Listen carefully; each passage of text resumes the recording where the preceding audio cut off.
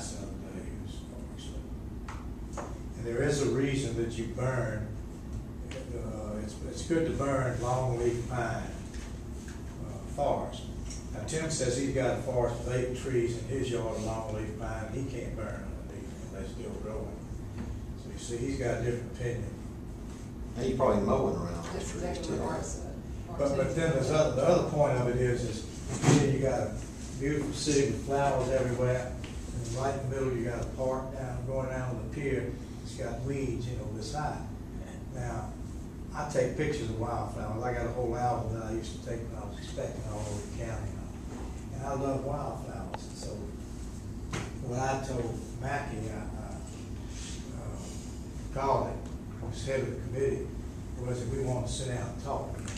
So I was thinking that we could take and have a wildflower demonstration out on, County Road forty-four, and that piece of land out there, and, and keep that kind of nice. Well, that didn't go over too well with, with him. My only thing is we're Tim burning in the middle of town, and we don't allow anybody else to burn in town. And that's just a beautiful thing, and all I wanna do is look at the options. That's You right. know, I'm not saying two, not whatever, but as of right now, I get more complaints about the looks of that.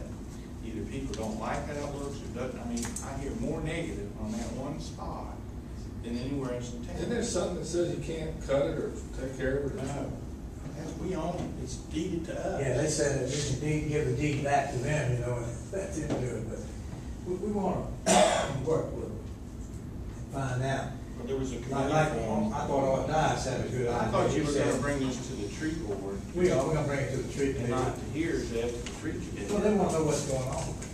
That, that's information. He, he. And he did ask if we wanted to hear. Yeah, I asked you, and you said, yeah. Art says, let's get a brats bus and get all them people around there in the neighborhood that don't like to burn it, take them away for an hour and burn it, and bring them back. You that's, that probably work, but anyway, that's just a bone contention there, uh, the neighborhood burning. I like to burn myself, but, uh, we can't burn the city, well, although they're doing it.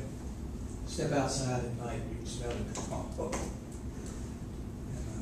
So they're gonna come in two weeks. I believe. Well, I don't know whether they're coming here, we're gonna have a committee meeting with the tree committee. Okay. Bobby Green sent me an email, and asked to be put on the agenda, on our work session agenda in two weeks.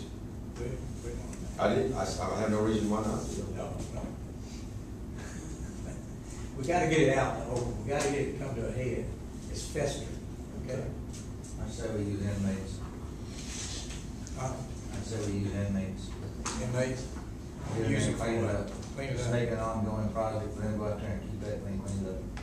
Well, Tim's got a good idea that, you know, people want to walk through there, of course you can walk through there now. Now, it's not handicap accessible because you gotta push over a pine straw, you know. But leaving it natural like that, I don't think there's no problem with that, but there's places to sit and read and everything. You know, before it was rolled over with, uh, big azalea bushes and you don't know what was behind, behind azalea bushes, you know? He was in there, so, uh, inmates. Huh? Potential inmates.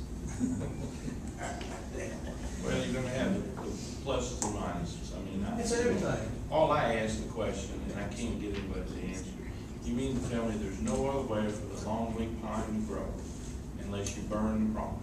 That's Because not- if that's true, everywhere in town that has longleaf pines that are growing, they, they're not all in people's yards, they're everywhere. Well, actually, my father worked for the Conservation Department.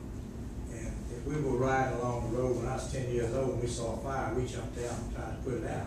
You don't see many forest fires anymore, they're all prescribed burn, and they're burned for a good reason. Put nutrients back, clear it out.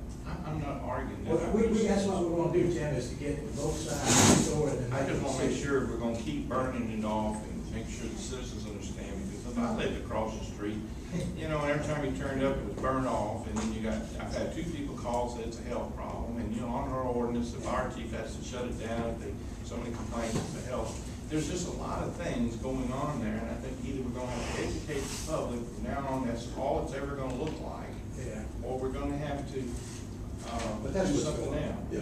Well, anyway, we, we're just talking about getting them in here to present to us, so let's get them in here to present to us in a couple of weeks, and then we Yeah, let's can have a little bit. and then we more can- Decision. debate about Yeah, it's- what we do from there. Just points on Um, both All the sides things we have to worry about, I don't think that's high on the radar screen, is all I'm saying. Well, it's a, it's a thorn in your saddle, and a lot of people's, because of the unkempt looking condition. So let's hit it head on and see what we can do about it. Compromise, okay? Well, let, let's move on, I know uh, another, uh, piece of